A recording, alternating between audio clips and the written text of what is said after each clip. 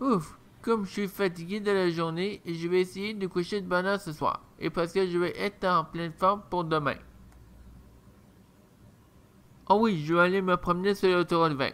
Mais non, c'est pas vrai. Et demain matin, je me lève à l'heure que je veux et parce qu'il fait beau toute la journée, mais je vais aller me changer mon chandail avec ma chemise dessus. Et demain après-midi, je vais aller prendre une collation au chocolat favori.